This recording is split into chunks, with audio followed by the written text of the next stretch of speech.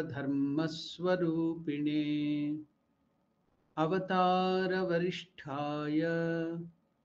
रामकृष्णाय ते नमः। नमस्कार to all of you welcome to the study of the life of the direct disciples of Shri Ramakrishna we were looking in the life of Swami Ramakrishnananda ji Maharaj whose pre-monastic name was Sharachandra Chakravarti. Now we shall continue meditating and studying the wonderful life of Ramakrishnanandaji Maharaj because it was or it is completely associated with the great Yuga avatar Sri Ramakrishna.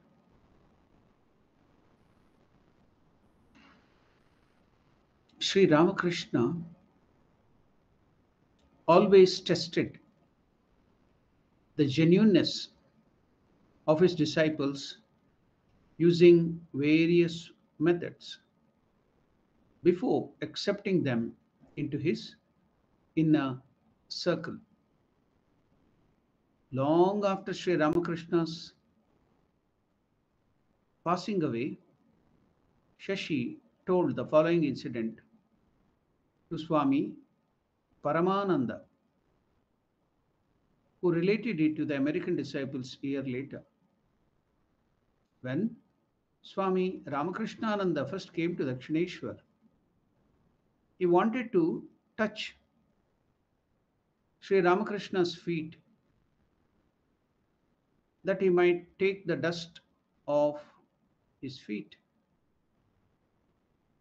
For in India, in relation to the holy, this is considered the greatest blessing. But suddenly Sri Ramakrishna withdrew his feet. Swami Ramakrishnananda then thought that it was because he was unworthy. Afterwards, Sri Ramakrishna told him he did so only to increase his yearning. See how are the devotees tested? The difficulties, the problems, the unfavorable circumstances are brought to us. So when we it comes to us now from these incidents, we can deduce that the Lord is preparing for something higher to increase yearning for God. Ramakrishna himself is telling, I did that. When you came to touch my feet, Ramakrishna took away his feet. So many people will be there. What will they think upon? When Ramakrishna would be in Samadhi, if somebody touches Ramakrishna, would shout in pain. If impure people touched. So all sorts of imagination will be working. Now, such thing is working in the mind of Shashi Maharaj, thinking that I may be unworthy, I may not be, be sufficiently pure to touch Sri Ramakrishna's feet. So, why did he do that? Why he knew that it is going to hurt him. Later on, we see that Mahendranath Gupta, who was there, he asked Ramakrishna, Why did you do that, sir? Why did you do to that young boy? Why did you take away your feet? Then to Ramakrishna had replied, To increase his yearning. So the goal of Sri Ramakrishna's avatara to coming, Yuga avatara to come down to this earth is to bring us love for God, increase the yearning for God. We get inspiration to realize God, the goal of human life. Nothing else. Every act of Sri Ramakrishna, the Yuga Avatara, is meant to increase our love for God, devotion to God. So that yearning, Vyakulata. Now that's what Ramakrishna is telling. Worldly minded may think so many things that is not important to us. I remember an incident. There was a physics classroom. Maybe they were studying about the vehicles. Now, one of the lecturers asked the students there, why are there brakes in the vehicle? So many started answer, answering in many ways. So some started telling to stop the vehicle,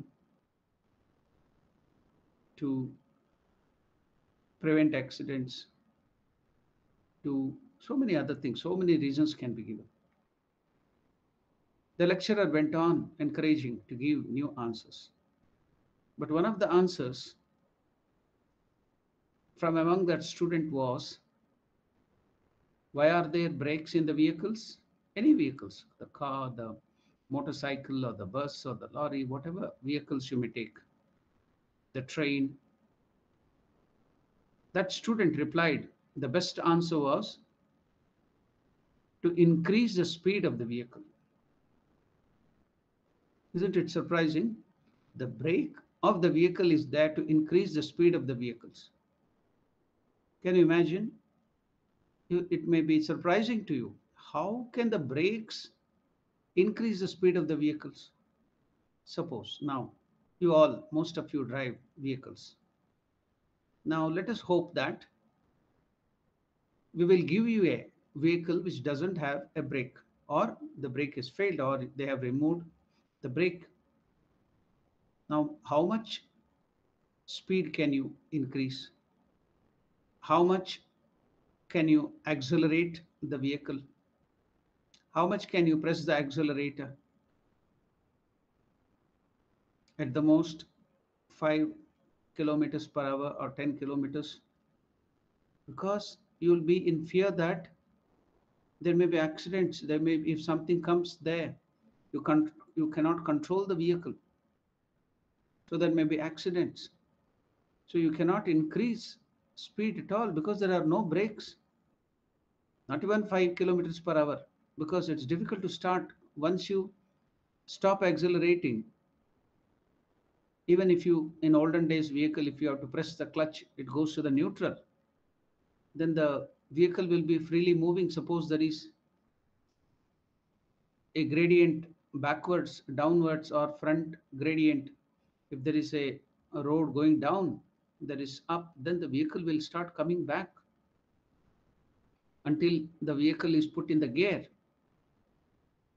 so now it will be difficult to accelerate increase the speed whatever it might be so the answer was wonderful telling that the brakes are necessary in the vehicle to increase the speed if you know there are good brakes strong brakes, then you can drive up to 120 kilometers per hour, up to 160 kilometers per hour.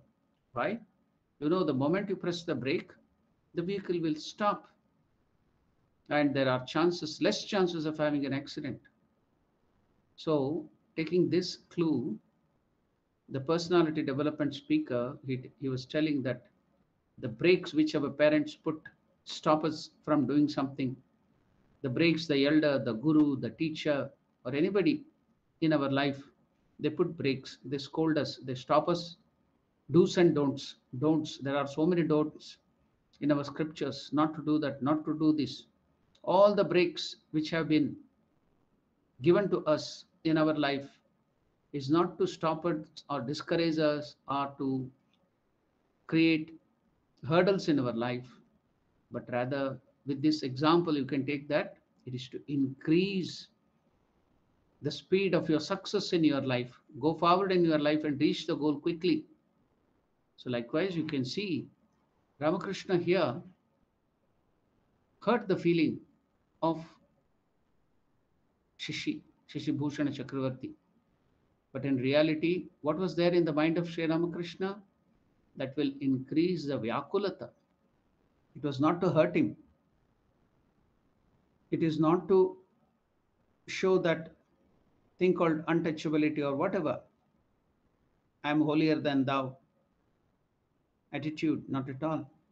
Ramakrishna is clearly telling. So, whenever there is some incidents in your life when the elders or the guru or the father and mother are hurting you deliberately. It is not to put you into trouble, but to increase your speed to reach the goal. If you can understand this, then if you can just grasp the idea behind whatever the action, then there'll be no friction at all, there'll be no pain at all. So keep this in mind. Ramakrishnanandaji Maharaj telling us Sri Ramakrishna withdrew his feet. Swami Ramakrishnanandaji thought that it was because he was unworthy. Afterwards, Sri Ramakrishna told him that it was only to increase the yearning for God. What all different ways the gurus, the elders, the Lord teaches us. So make use of an opportunity if you know what is the aim of your life, then you will not be upset. Why do we get upset with the talk of our parents? Why do we get irritated when the father or the mother tells some harsh word or something? We go on getting angry with the elders or teachers or with friends or with wives or husband. If we can make your goal clear, your life goal is clear, then all this problem you will ignore all these things. You will not at all give your mind to all those things. As yesterday while i was reading one of the statements of swami vivekananda what is liberty? What is freedom? Swami vivekananda tells freedom is non-attachment. It is not whining and suppose somebody does some harm to you trouble to you. You go on having that feel of hurt. That is not freedom. Vivekananda tells liberty is non attachment. You should make yourself so strong. You should make your senses so controlled, your mind so controlled that you are not affected by any circumstances, whether external or internal nature gives us, brings us. So that is liberty, that is freedom, true freedom, Swami Vivekananda tells. It is not just simply endurance, but you are not at all attached, you are not at all affected by any external circumstances. So now here, what a wonderful way the Guru is applying all that is for increasing our yearning for God, to realize God. Afterwards, Sri Ramakrishna told Shashi, told Ramakrishnananda that it was only to increase his yearning for God. A small soul. See how how can you explain us how to increase the yearning for God? Ramakrishna is telling us a small soul, a ordinary person with lot of ego, a jivakoti which is aspiring for only worldly enjoyments, a small soul full of pride and egoism. A small soul full of pride and egotism would have felt injured. But a big soul is only filled with greater longing. Now you can test yourself. We can test do you get the feel of pique? And use that pique, use that feeling of hurt to turn it towards God and go forward in your life, reaching the goal, or you increase your ego. You hurt your ego, you felt, you feel that anger and go away from there. A small soul runs away, you will not go to that person again. But a big soul, a person, if your goal is clear to realize God, then you use that opportunity every opportunity as a booster, as a thirst to go towards God. That's very important. So we can test each time in our life. When I get difficulty, when I get some scoldings, when I get some insult from somebody, how am I using it? Am I using it to increase my bloat my ego and go away like a small soul? Or am I a bigger soul, a great soul will use that opportunity, all that scolding and everything to move forward in spiritual life. We can question ourselves, we can see, we can test, we can introspect, and then find out where am I? Where am I in the spiritual evolution? Which ladder am I in the spiritual progress? So these are all, though very small incidences, but should be used. Every incidence of the life of great souls or the teachings of Sri Ramakrishna, we can make use of it for our spiritual life. So test, we can test ourselves. What a wonderful thing. Sri Ramakrishna withdrew his feet. Swami Ramakrishnananda thought that it was because he was unworthy. Afterwards, Sri Ramakrishna told him that it was only to increase his yearning. A small soul full of pride and egoism, egotism would have left injured. Who is the loser? We will be the losers. But a big soul is only filled with greater longing to realize God.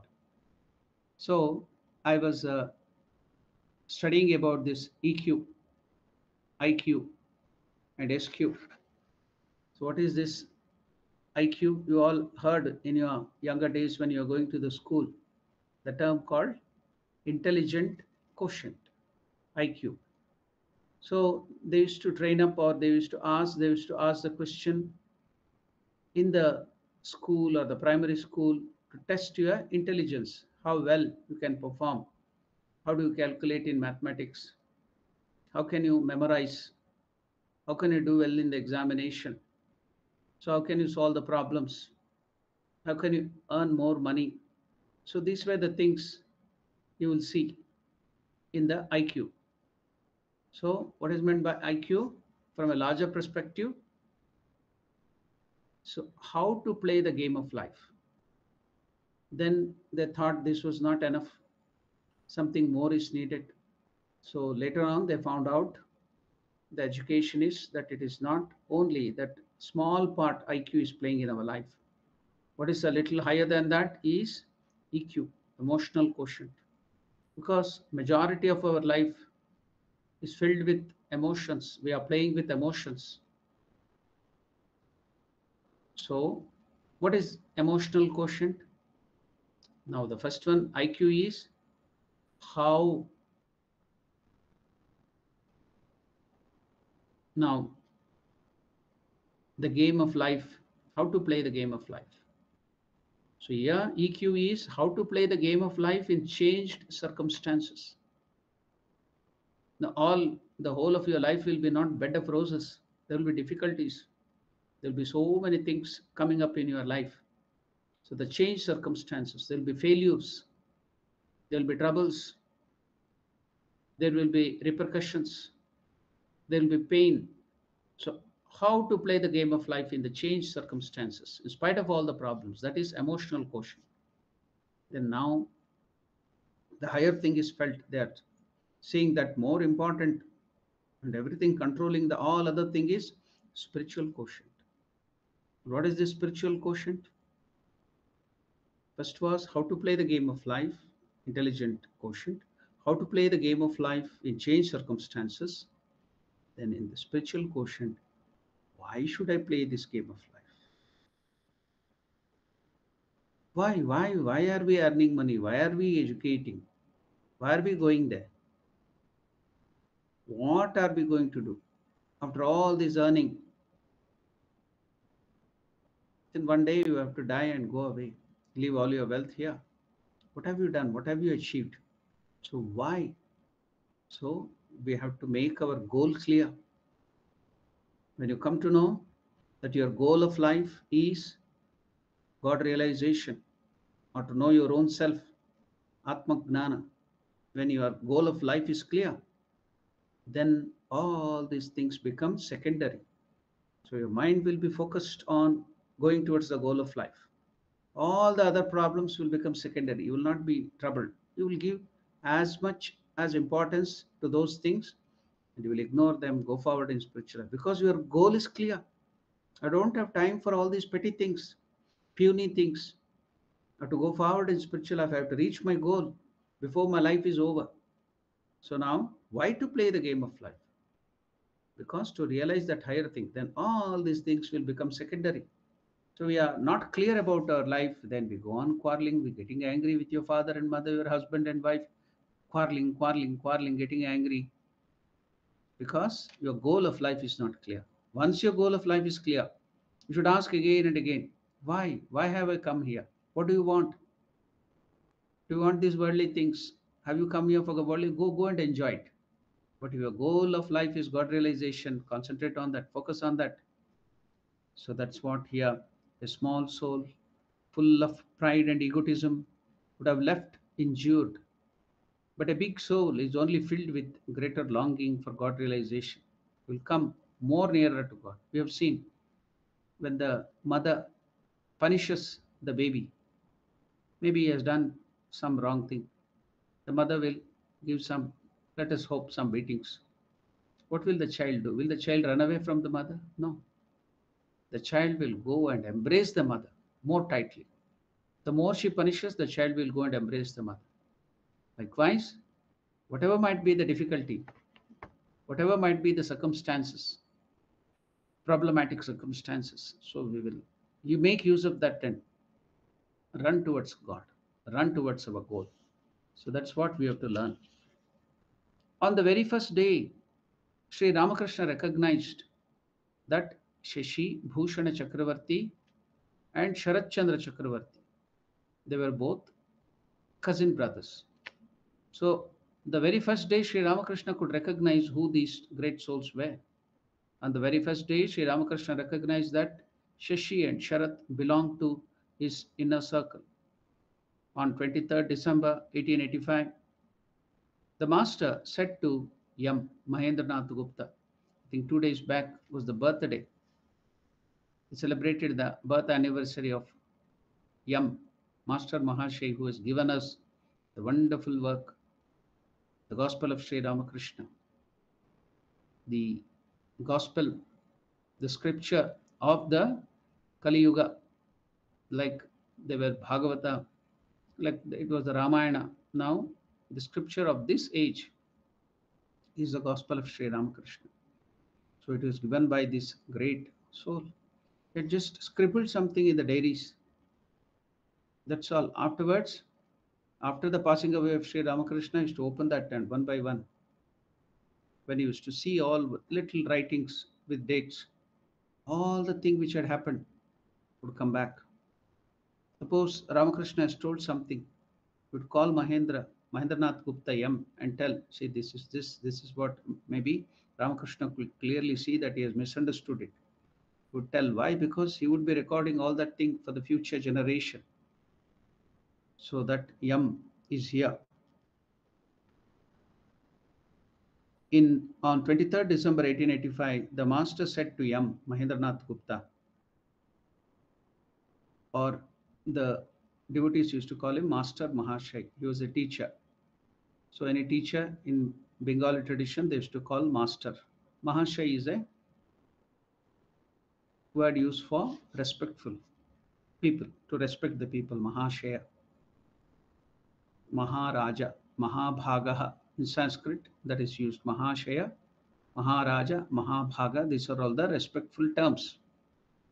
So now Ramakrishna is telling M, Master Mahashaya or Mahendranath Gupta, when God assumes a human body for the sake of his devotees, many of his devotees accompany him to this earth.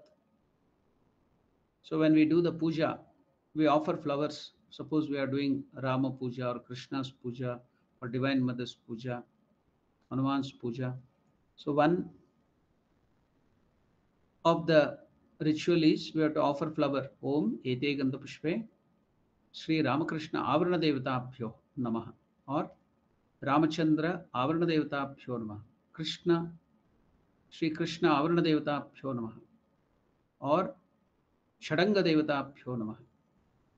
So different flowers have to be given. We have to worship them. What is that? There are some devotees who are always accompanying the Lord when he comes to this earth as avatara. Just like before the Lord comes, they will come and make clear the whole thing. For example, in the army, before the army marches So there will be sappers and miners. They will go and clear the way. They will, if there are any mines laid by the enemy army, they will remove the mines. Suppose the bridges are broken, they will make the bridge quickly for the army to march. So they are the sappers and the miners.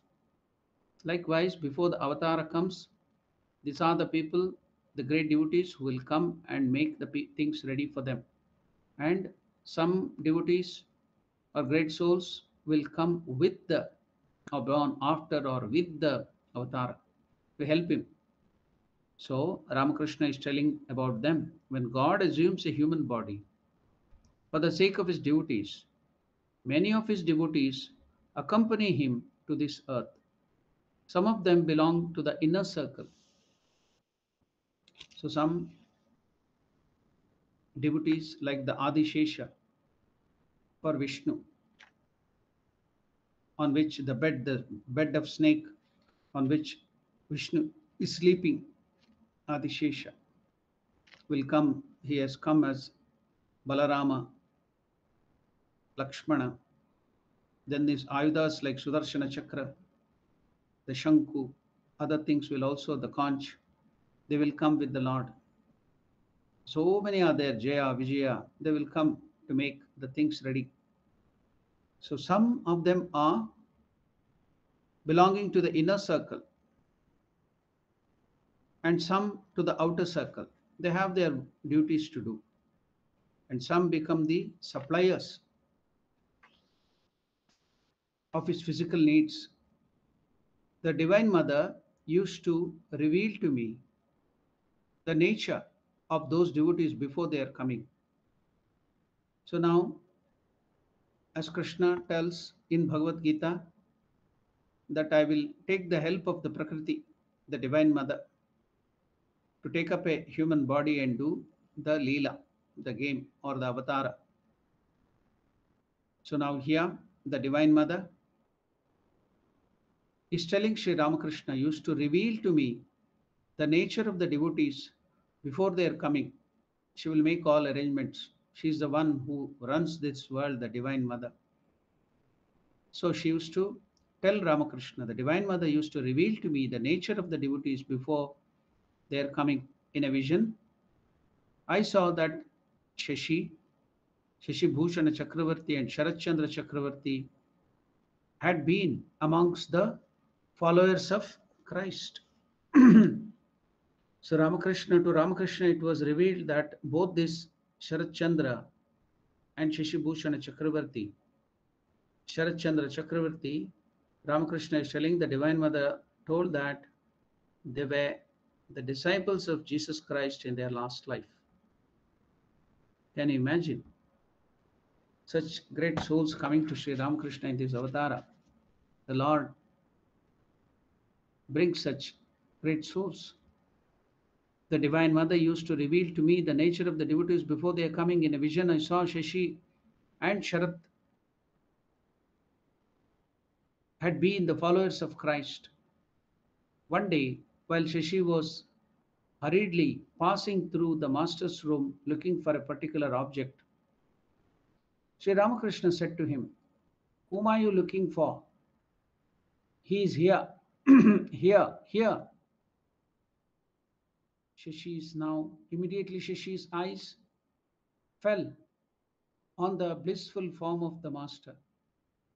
He then realized that Sri Ramakrishna was the pole star of his life. Dhruvatara. See, in olden days when they didn't have this GPS or the modern gadgets, the people used to travel by ship in olden days. They used to have mariner's compass. So the mariner's compass would show them. But even before that, so the pole star, in the daytime, okay, you can know the sun, but what about in the night time? the pole star Dhruvatara.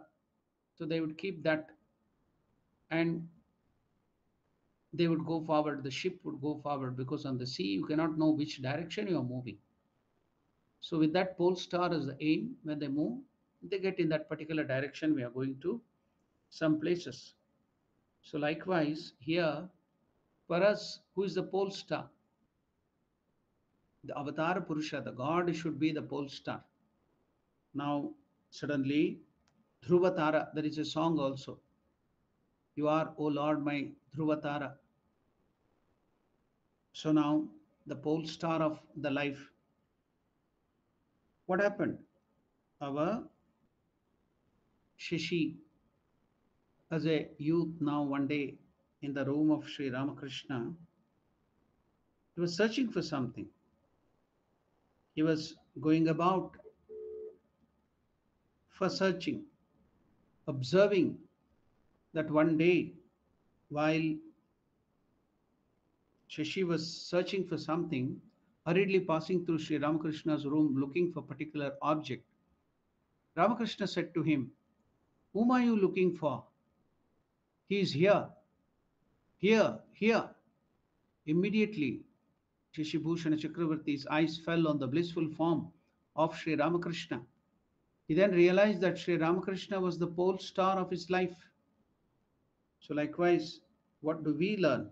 For us too, we should make the Lord as the pole star of our life, nothing else. If we make the Lord Himself as the pole star of our life, then our journey on that rough seas will be made easier. Gradually, Shashibhushana Chakravarti became acquainted with other direct disciples of Sri Ramakrishna would become sannyasins in their future life, like Narendra and other young disciples of Master. One day, Shashi and Sharat visited Narendra in his home and talked about Master for many hours. Narendra told Shashi and Sharat that Sri Ramakrishna is bestowing love, devotion, divine knowledge, liberation, and whatever else one may desire. Narendra knew. He's telling Shashi and Sharat, what is he telling? Sri Ramakrishna has come down to this earth. We are so lucky that we are going, we could we have an opportunity to serve him. He is bestowing, Ramakrishna is bestowing. Love means devotion, bhakti, devotion, divine knowledge, gnana, prema and preeti on God, bhakti on God, service to God, divine knowledge, gnana, liberation, mukti, and whatever else one may desire. So Ramakrishna has come down to the earth to do this. He is bestowing on everybody, on whomsoever he likes. Oh, what a wonderful power the Lord is manifesting as Ramakrishna in this avatara. Narendra is telling these two people. Oh, what a wonderful power. He can do anything he likes. That is the power of Sri Ramakrishna, this great avatara. For the outside people, you cannot understand. Seeing the life of Ramakrishna, it looks is just like acting like a child. He doesn't know, he's so innocent. But people who have experienced what is Sri Ramakrishna, Narendra, such a strong mind, he would not believe anything. He couldn't be mesmerized by anybody, deluded by anybody. Such a strong mind. Now he's telling the wonderful play of Sri Ramakrishna is telling he's bestowing love, devotion, divine knowledge, gnana, bhakti, vairagya, mukti, and whatever else one may desire, whatever you want, the Lord is ready to give on whomsoever he likes. Oh, what a wonderful power! He can do anything he likes. So, this was the statement of Narendra to Shashi and Sharat. Observing that other disciples were experiencing ecstasy and devotion, one day Shashi, Shashi saw that he was not at all getting any bhava, ecstasy, or that exuberance of love to God. It was expressed in some of the devotees. Is not getting it, so he felt he felt a little upset. Why am I not getting all these things? Observing that other disciples were experiencing ecstasy and devotion. One day, Shashi prayed to the Master for these spiritual experiences. Now, very important point is to be understood here. Ramakrishna is making a wonderful statement. What is important? These bhava and some external expressions are they important or what is more important? Now Ramakrishna is going to tell it to Shashi. Through Shashi, we have to understand this. So, what is important in our spiritual life? Suppose some people are having some astral travels, going here and there, having some special visions, and when you don't have it, don't worry at all. What is important in spiritual life, you can get it here. Now, when Shashi prayed to Master for those spiritual experiences, the Master said to him, My dear child, if you have that experience, you won't be able to serve me. If you have that experience, those experience, you won't be able to serve me. So to serve the avatara, the Lord, is very, very high. To serve God is very, very high. To do the work of God, it's not so easy. If somebody is selected for that work, you are great. The bhava, the experiences can be had. Then with that, you cannot serve the avatara, the Guru. So service to the Guru, service to the children of God, serving the Lord is very, very important. So Ramakrishna is telling Shashi, my dear child, if you have that experiences, you won't be able to serve me. Then immediately, what was the reaction of Shashi? Shashi replied, Then I don't need it, sir. I don't care for that ecstasy, which will take away my opportunity to serve you. So you can see Guru Bhakti, as I told you in the beginning of the class itself. What is that? Ramakrishnanandaji is epitome, the ideal. How should we learn? How should we do the Guru Seva, Guru Bhakti? So you have to learn that. Then you see the life of Ramakrishnanandaji. See, he's immediately telling that. Then I don't need that ecstasy or those experiences, sir. Replied Shashi, I don't care for those ecstasy which will take away my opportunity to serve you. Another day, Shashi noisily ripped a piece of cloth in Sri Ramakrishna's presence. Now we do our work in a slipshod way, untrained way, indisciplined way. The Lord cannot handle it, He doesn't like it. So when you are in the presence of the Lord, even if the Lord is not there, in the form of the photo or the temple or the image. The Lord is everywhere. So how should we work? What should be the way we work? We should feel the presence of Lord and every work has to be done in such a way that we should please the Lord. Bhagavad Arpita Buddhi. Now, Ramakrishna is showing when Shashi noisily ripped a piece of cloth, you tear it, you do your work, you throw away the things, objects, make lot of sound in the bucket while keeping it thrashing the bucket kicking the things with your legs. So we do our work in a very bad way. So whatever way whatever small work you are doing you should do in a very disciplined way soft way with all awareness with full mindfulness everything even the smallest of work. Now he is ripping that cloth old cloth making noise, tearing it. Shashi noisily ripped a piece of cloth in Sri Ramakrishna's presence, startling Ramakrishna. Because of Ramakrishna's experience of oneness, why did he? While he ripped that cloth, cut that cloth, Ramakrishna was startled or he was pained. Ramakrishna could feel the pain. Why? Because Sri Ramakrishna's experience of oneness when the cloth was being torn, he felt as if his own chest were being torn as well. When a person is highly spiritually evolved, his physical and mental system becomes very sensitive. The master did not like his disciples' rough action. So Ramakrishna said to Shashi, he said to him, What are you doing, Shashi? Never tear the cloth in that way. The serpent power, Kundalini, the Kundalini Shakti, the serpent power which is within me, may snap at you. Be careful. The serpent power, the Kundalini Shakti which is within me, may, get angry, which is within me, may snap at you. Be careful.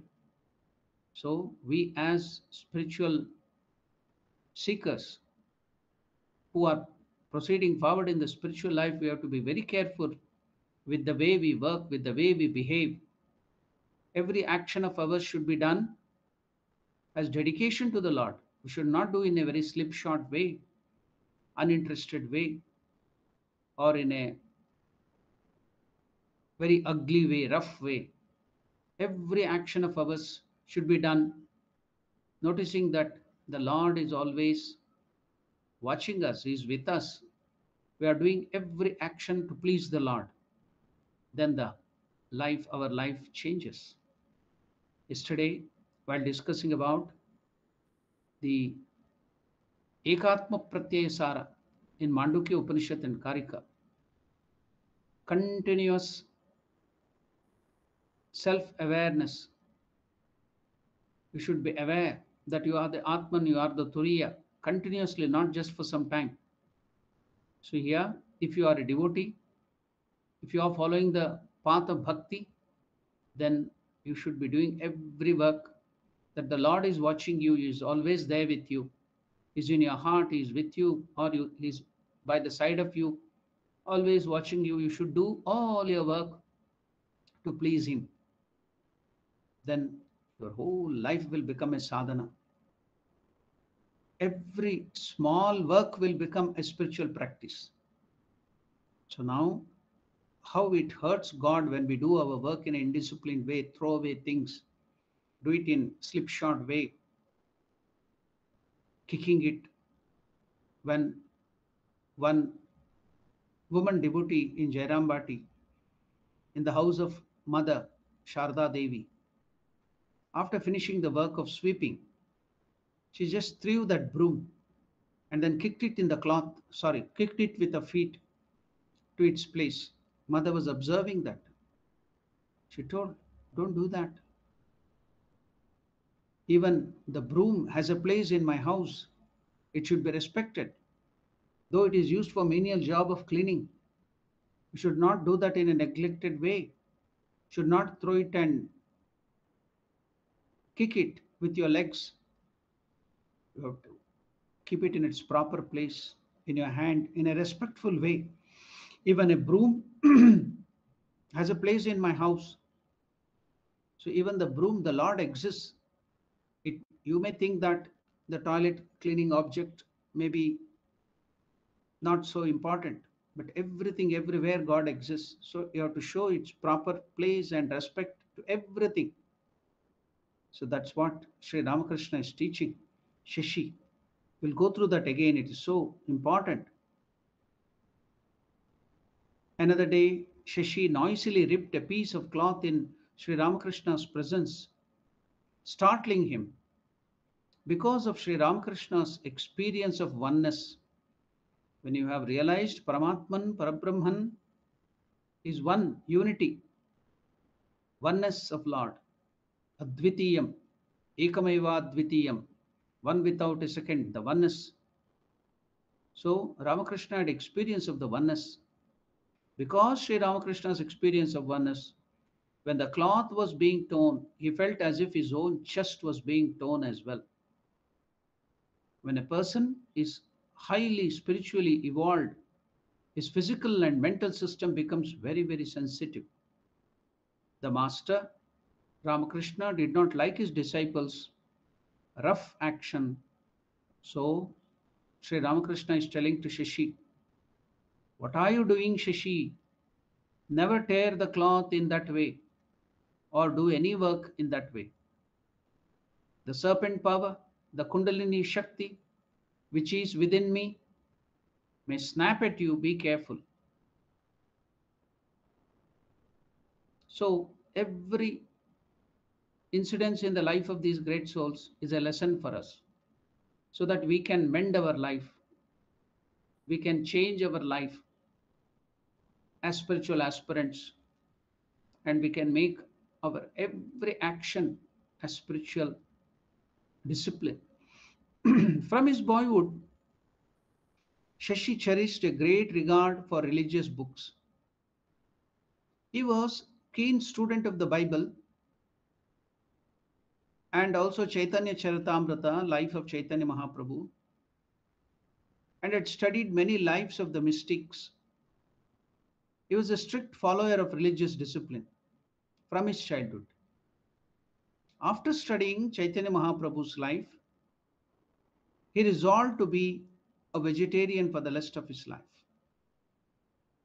Though Brahmins, being born in the house of Brahmins, in Bengal, even the Brahmanas will take fish and non vegetarian things.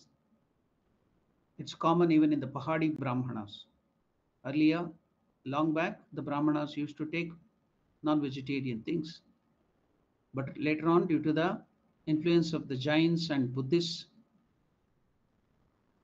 and also to the influence of the different saints later on, like Chaitanya Mahaprabhu and other Vaishnava saints, most of the Brahmanas have, have given up eating meat. But it is there in Bengal, in some parts of the Himalayas, the Pahadi Brahmanas, they take non vegetarian things. Now, here in Bengal, especially the devotees or the worshippers of Divine Mother Kali or Durga, they take meat. So, now, here by the influence of Chaitanya Mahaprabhu's life, Ramakrishnananda Shashi gave up eating non vegetarian food. After studying Chaitanya Mahaprabhu's life, he resolved to be a vegetarian for the rest of his life. Sri Ramakrishna also advised him to eat only vegetarian food and also to observe the Varnashrama system. This later helped him to work among the Orthodox people in South India. So Ramakrishna knew then he would be the apostle. He has to go to South India where the orthodoxy was too much. The Orthodox South Indian Brahmanas the caste system, the Varnashrama Dharma was followed very strictly. So Ramakrishna encouraged this non vegetarian discipline of Shashi and also to follow the caste system strictly because he knew he is going in future to become the apostle of the South India. He was the one who came to South India, Chennai, and started the Ramakrishna Ashrama and spread it to other parts like Kerala, Karnataka, Bangalore, and other places. So Sri Ramakrishna also advised him to eat only vegetarian food and to observe the caste system. This later helped Shashi to work among the Orthodox people in South India. The master demanded from his disciples physical as well as mental cleanliness. So, cleanliness is next only to godliness. Ramakrishna used to be very clean and also expect that his disciples or anybody with him the cleanliness not only at the physical level but also at the mental level the master demanded from his disciples physical as well as mental cleanliness one day he said to Shashi please scrape your tongue daily otherwise i won't eat from your hand in India, the scraping of the tongue, the moment you get up, wake up, you brush your teeth, and it's compulsory in India. I don't know in other Western countries. So they have this metal scraper too in the Western countries. But in India, after brushing the teeth, the important thing is to scrape your tongue with your two fingers. They put that and scrape. So the food material which is stocked up on our tongue, that causes the bad breath and that is to be removed. And when you are, this, the mouth will be cleansed and you will have, you will not have the bad odor from your mouth. So morning, early in the morning when we brush our teeth, that is the custom we see in India. And many people, while doing that, scraping the tongue, they'll be making a lot of noise too. So it also very important in the health system whereby you scrape the tongue in a very brisk way and make it more alert. You know, when the tongue is being scraped, the prana shakti will come up. You will feel like vomiting. That is a way how you can do that act of vomiting. So when that is done, you see the blood and everything. Blood in the sense the in the blood vessels. They all come up towards the head, and your sleep, that mode of laziness, alasya, will go away. Because in early in the morning after waking from the sleep, you will be some sort of a, in a in a sort of drowsy state. So that alasya or laziness will be there. So in the process of scraping the tongue and cleaning the tongue, when you're doing that, so you'll become very alert. That drowsiness will go away. So that is also the reason. You see in one of the yoga posture, the Khechari Mudra, you have to pull out your tongue.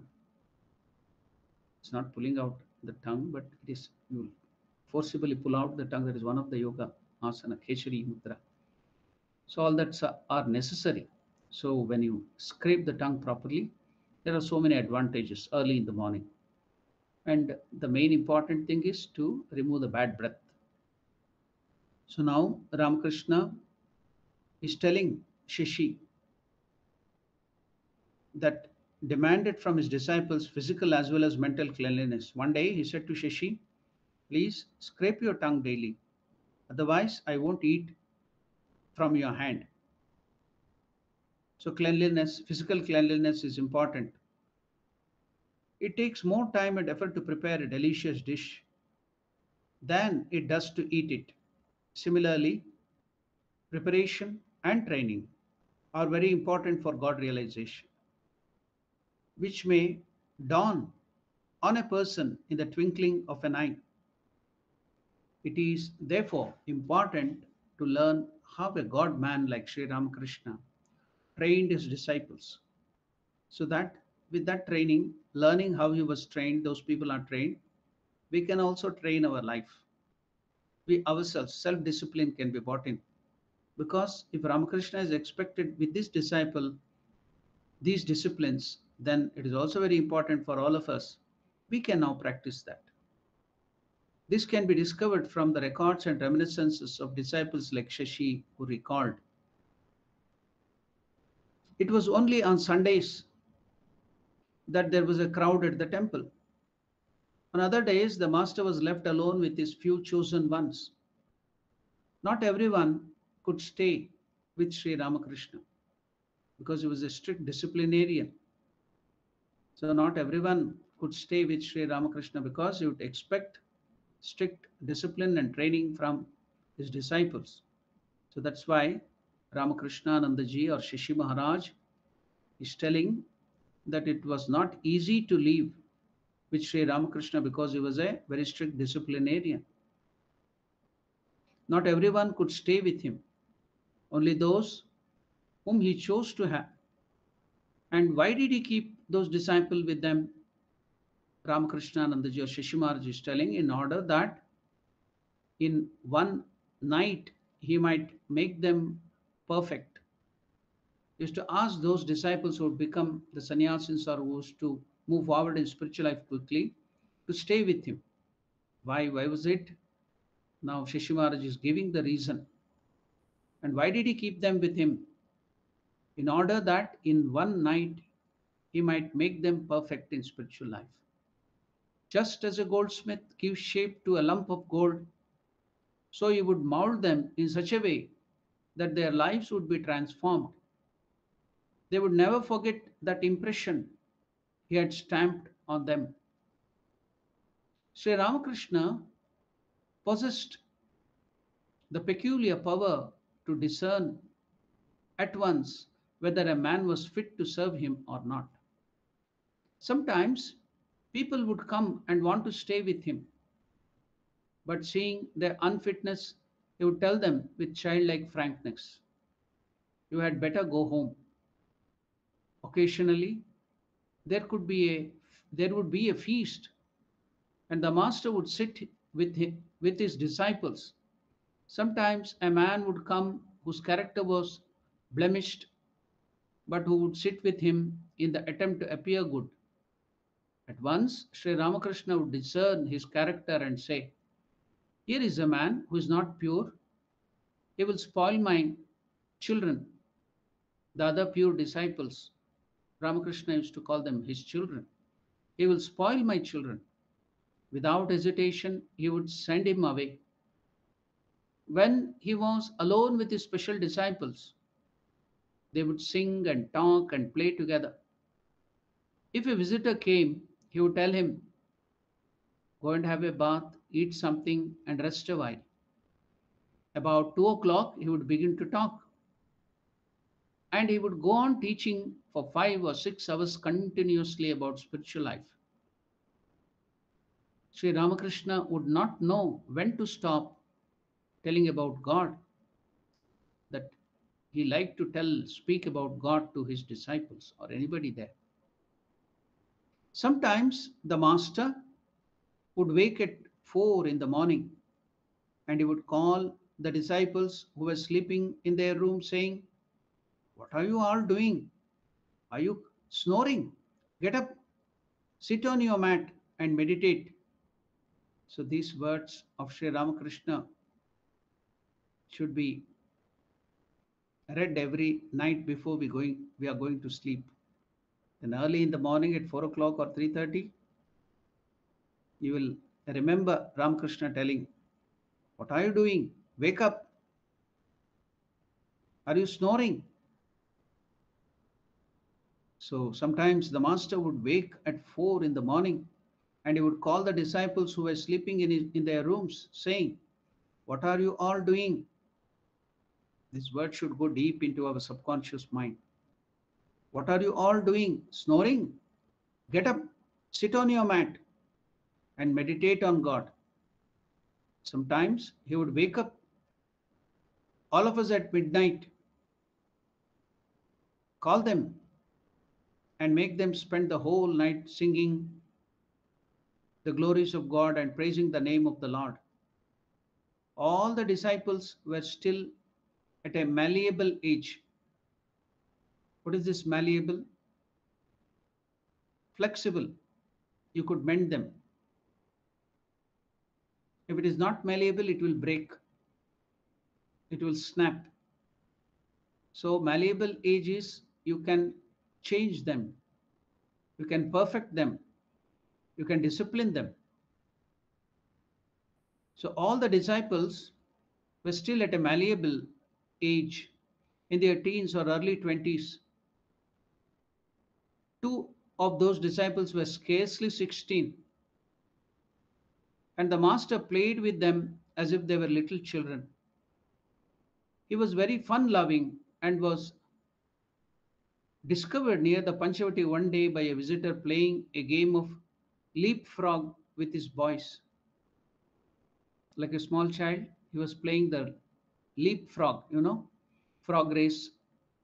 You leap like a frog, and who will win? So, Ramakrishna in Panchavati was playing a leapfrog with his disciples. Sometimes he would send them into peals of laughter by his mimicry and jokes. Then again, he would be grave and wake them long before the dawn and make them sit in meditation on the mats on which they had been sleeping. Again, at the evening hour, he would tell them to go to the banyan tree in Panchavati and meditate. The Master said to all of us, if you will practice even one sixteenth part of what I have practiced, the spiritual disciplines, you will surely reach the goal. So Ramakrishna would inspire with these words, telling that I've done so much. You need not do so much of sadhana. I have done all that spiritual practice for you. The master said, if you will practice even one sixteenth part of what I have practiced, you will surely reach the goal. That 16th part of the individual striving however, was essential. He could not impose realization as one pastes a picture on a page. He could not impose realization of God as one pastes a picture on a page. Someone said to him once, these are all the reminiscences and words of Shashi Maharaj about Ramakrishna. Someone said to Ramakrishna once, You have the power to touch to make a man perfect. So, just with one touch, Sri Ramakrishna could change the character, he could give visions, he could make them progress forward in spiritual life. So, he had that powerful touch. So, once one person told Sri Ramakrishna, Oh, Master, you have the power to touch to make a man perfect. So, why do you not do it to everybody? Simply touch everybody and make them perfect. To which Sri Ramakrishna replied, Because if I did, Sri Ramakrishna answered, Because if I did, the person would not be able to keep that perfection. He should earn it. I may give it to him. Because if I gave that perfection to him, by my touch, I can do that. I have that power. If I did so, Sri Ramakrishna answered, that person would not be able to keep that perfection. He must grow to it and be ready to take it. His method was peculiar. He did not tell a man to give up everything. On the contrary, he would say, Go on, my children, and enjoy all you wish. The Divine Mother has given this universe for your enjoyment. But as you enjoy, remember always that it does not come from yourself but out of the mother's bounty. Never forget. Never forget her, the Divine Mother. Never forget her, the Divine Mother, in your pleasure, but always recognize that it is from her. In this way, by becoming mindful of Mother, the person would gradually lose all taste for those pleasures of the senses. In the Yoga, Patanjali Yoga Sutra, it is told Prakriti gives us both, what is that? Pleasure, Bhoga and Apavarga. Bhoga Apavarga, the term used in Raj Yoga is bhoga apavarga The Divine Mother gives us both Bhoga and Apavarga. She has given pleasures, go and enjoy. But she is also giving us Apavarga. That is, you have to go towards spiritual life, the spiritual goal. And that is so nicely explained by Sri Ramakrishna here. His method of teaching to the disciple was peculiar. He did not tell a man to give up everything because people have the desire. Now, Ramakrishna is to train them and tell them, Go on, my children, and enjoy all you wish. The Divine Mother has given the universe for your enjoyment.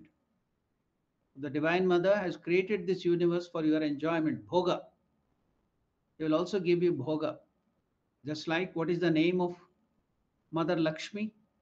The meaning of the name of Lakshmi? It comes from the root word lakshya. What is lakshya? Goal.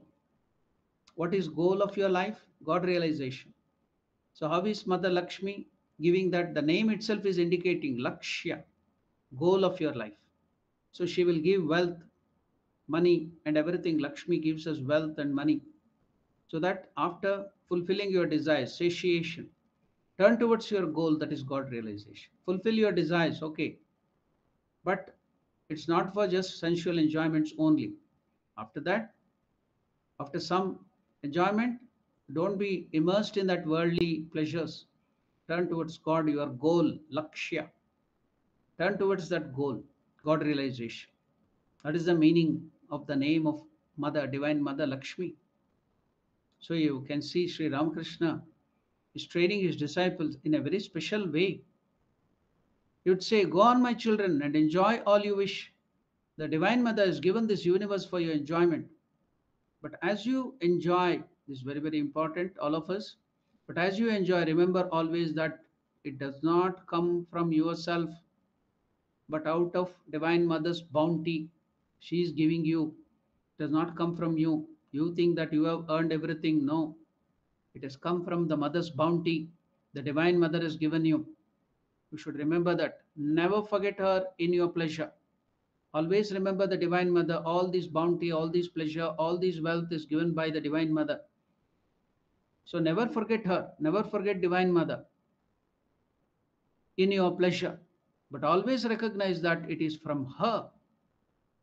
In this way, by becoming mindful of the Divine Mother, that person would gradually lose all taste for the worldly pleasures of the senses and then turn towards God. This is how Sri Ramakrishna is to train them. The Master never told us that anything was wrong. The Master never told us that anything was wrong. On the contrary, he used to say, Go and have a good time. The responsibility will be mine. See what a wonderful way Sri Ramakrishna is telling. Go and have a good time. The responsibility will be mine. He knew there was nothing wrong in the pleasures of the world, that by tasting them, his children would come to realize their worthlessness and they would be satisfied only with higher pleasures. He was not merely the helper of the good, he was also the helper of the wicked. He tolerated and loved both the good and the wicked. He was also the helper of the wicked. He tolerated and loved both. He wanted his children to always be happy. So Ramakrishna wanted all his disciples, wanted all his children to be always happy. And if one of us came with the least show, with the least shadow on his face, the master could not bear that. He would at once scold us and tell, Don't be sad, be joyful. So, this is very important for all of us.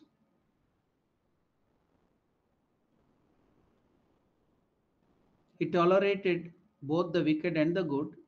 He wanted his children to always be happy. And if one of us came with the least shadow on their face, the master said, he would scold us. The master could not bear that we are sorrowful or having a long face. He wanted the disciples to be happy, always joyful. We have heard Swami Vivekananda's statement. What is that? We don't have the right to come out to the public with a long face, with a sorrowful face, because you will be spreading the disease to others too. It is contagious. When somebody looks at your long face or sorrowful face, Swami Shivapadanandaji Maharaj used to call popo face. That is papaya face, popo face. So if you come out with that long face and sorrowful face, serious demeanor, then the others, the moment they look at your face, they too get that feeling. It is contagious. So you're spreading the disease of sorrow. So Swami Vivekananda used to tell, go before coming out to the public, watch your face in the mirror, whether it is joyful or it is long face. You have a long face, you are a sorrowful face, you don't have the right to come out and show your face and spread the disease. Always be joyful. Swami Vivekananda used to tell. There should be a smile on your face so that the joy will spread to everybody. You don't have the right to come out to the public with a sorrowful face. That's what Swami Vivekananda used to tell. And you can see the training by the Guru here. Sri Ramakrishna wanted his children to be always happy. And if one of us came with the least shadow on his face, the master could not bear that. He would at once scold us. Just by looking at a man, Shashi Maharaj is telling, just by looking at a man, Ramakrishna could tell what that person was fit for. If he saw that he was falsely leading a religious life, externally wearing the religious garb, but internally he is for something that is hypocrisy. If Sri Ramakrishna saw that a person is falsely leading a religious life, he would say to him, Why are you a hypocrite? Go and marry. Go and get married. If he saw that a man was ready to renounce, he would not ask him directly to give up, but he would direct his mind in such a way that the man would of his own accord renounce everything and go towards God.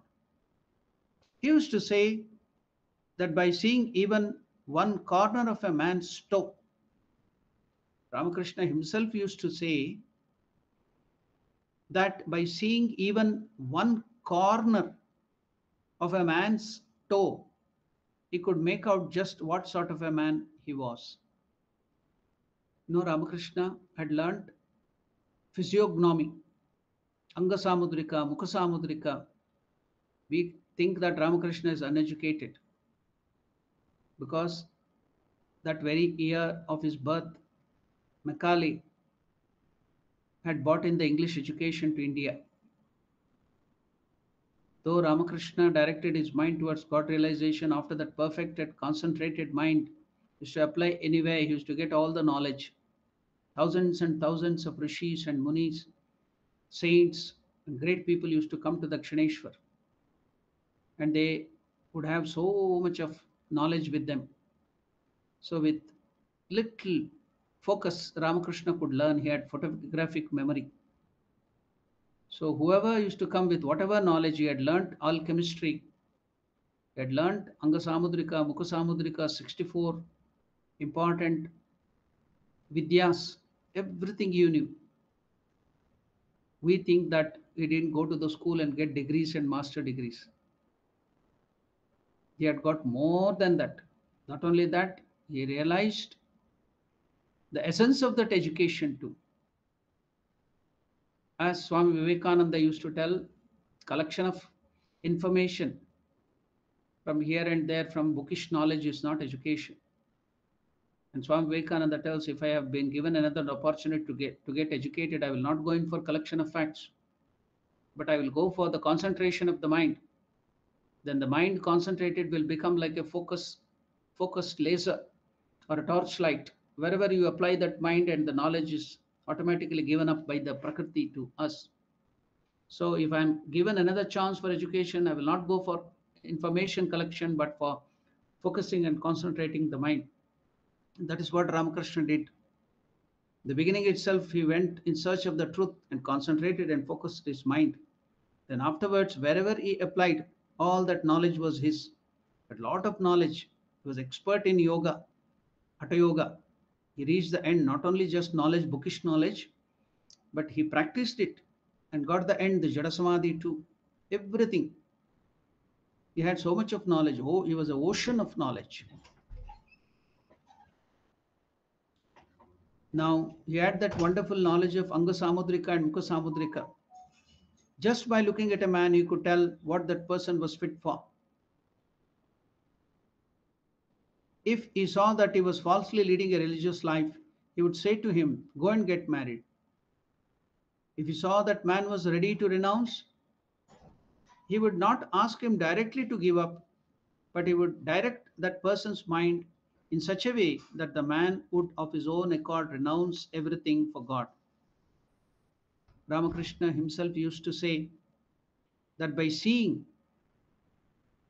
just by seeing even one corner of a man's toe, just a toe, corner of the toe. So he was expert in this Angasamudrika that even if he sees the corner of a toe of some person, he could make out just what sort of a man he was. That was the expertise of the knowledge of Angasamudrika and Mukhasamudrika he had. At one time, there was a poor boy who used to come almost daily to Sri Ramakrishna. Their life is also there in God lived with them, that person. So this boy, he was very poor. His desire was for money. He wanted to earn more wealth, and Ramakrishna gave him two. But in the beginning, he would not give, he would relent, he would make him wait and wait and come many times. At one time, there was a very poor boy who used to come almost daily to Sri Ramakrishna, but the master would never take any of the food he bought. Now you can see if you give something in the form of the fruit or anything give to a great soul or a realized soul or a saint, they will give you back in thousand folds. Automatically, whatever you are given will come back to you thousand folds. Now, Ramakrishna would not take anything, whether fruit or sweet or anything bought by this boy. So, Ramakrishna Ji or Shashi Maharaj is telling, we did not know why Ramakrishna could not take anything from this boy.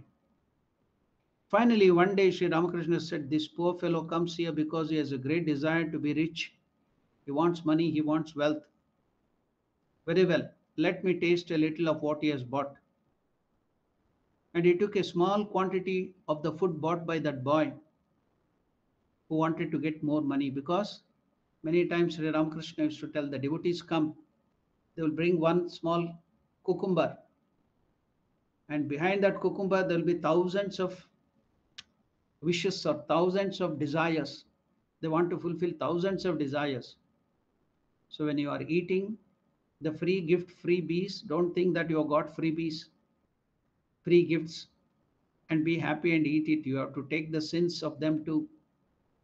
Whosoever gift you take, whosoever money or any other object you take from others when they give the gift, oh, you become so happy.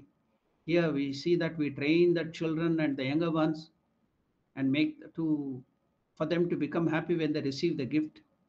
Very, very bad in our India. In our families, we used to be tra- trained not to take gifts. Now it is all changing.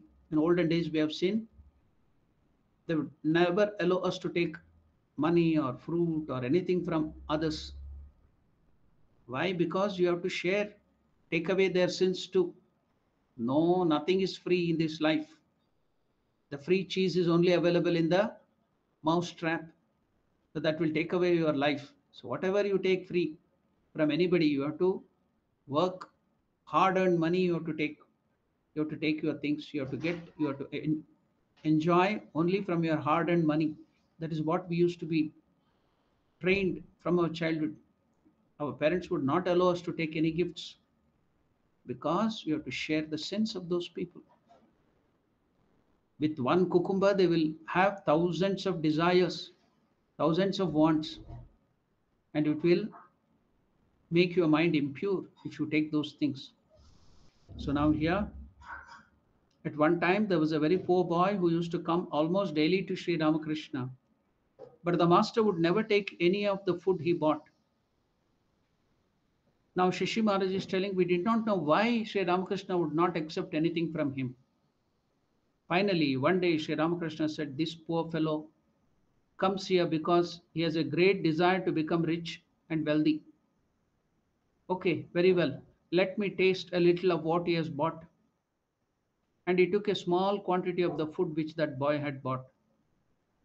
After that, the boy's situation began to improve immediately. And Ramakrishnanandaji is telling today is one of the most prosperous men of Calcutta. He had the Basumati press and he became very rich.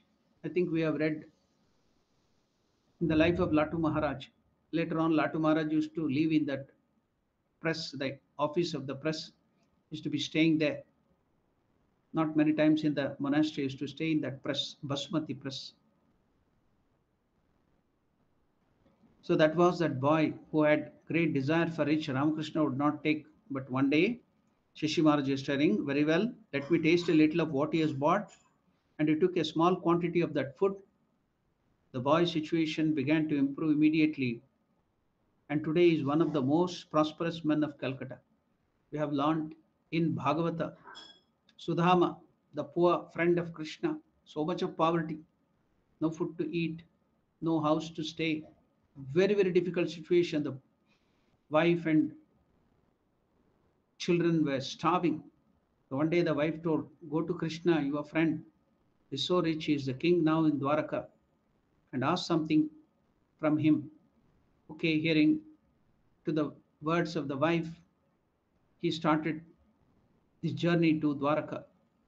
The wife told, You should never go empty handed when you go to the Lord or the saints or to the temple. So carry something. They didn't have anything in the house. They had some parched, flattened rice, poha or chivda. She fried it a little because they were so poor. And he tied it into his cloth, dirty cloth, old cloth, worn out cloth, and took it. When he went to Krishna, he was so ashamed. He didn't want to ask anything, wealth or anything. But Krishna himself could see the poverty he did so, he, he served him so much.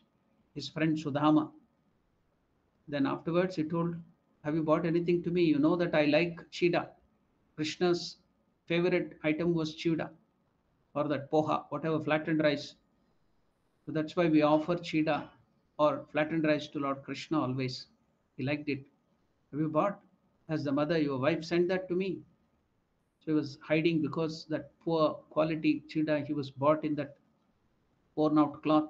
He didn't want to give, he felt ashamed seeing the richness of Krishna, the Rukmini, Satyabhama, all that there. And Krishna forcibly took it and started eating one or two morsel. Then all the daridra, the poverty, everything went. And then Rukmini also told, I too want the share. She took, she was Lakshmi's avatara. There, the moment here Krishna is eating and Lakshmi is eating the Rukmini, there all that poor house went away. Palace appeared in that place. All the wife and children had lot of wealth and jewelry. They became rich overnight. And when Sudama went back, he couldn't recognize. He thought he has come to some other place. So that is what if you give the Lord, if you whatever you give the Lord, He will pay back thousand times. Now you can see that in the life of Sri Ramakrishna. This boy, at one time there was a very poor boy who used to come almost daily to Sri Ramakrishna. But master would never take any of his food which that boy bought. We did not know why Ramakrishna behaved like this. Finally, one day Sri Ramakrishna said, This poor fellow comes here because he has a great desire to become rich. Very well, let me take, let me taste a little of what he has bought and he took a small quantity of food which that boy has bought. The boy's situation began to improve immediately, and today he is one of the most prosperous man of Calcutta. He had that he became the owner of press, printing press Basumati. So we will stop the study of the life of and teachings of Ramakrishnanandaji now, whereby we are getting more information. We are meditating on the Yuga Avatar Sri Ramakrishna. We'll continue that tomorrow, Thursday, Friday, and again Sunday, Monday. And every day evening, we are studying the Mandukya Karika, Mandukya Upanishad and Karika. People are welcome to that too. It may not be every day. Sometimes when it is possible, we are sending the link today also if god permits i will send the link to you. You can attend that discussion on mandukya upanishad and karika too. Now if you have any questions of what we have discussed today or on spiritual life you can ask. We'll dedicate five minutes or ten minutes to question and answers. If you have any questions then ask. Any questions? Any doubts I think there are no questions on the YouTube live chat.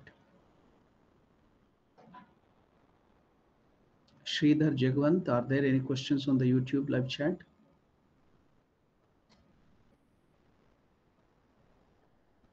Okay, if there are no questions, then we can conclude with the prayer. YouTube live chat. Oh, Maharaj, Yeah, please there are no us. questions on the. There are no. There are no questions on the YouTube, Maharaj. Okay.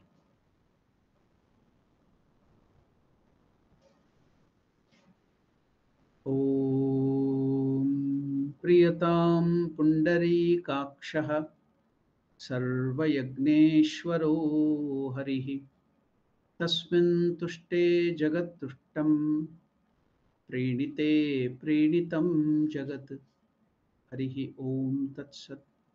श्रीरामकृष्णार्पणमस्तु। Thank you नमस्ते ओम नमो नारायणाय।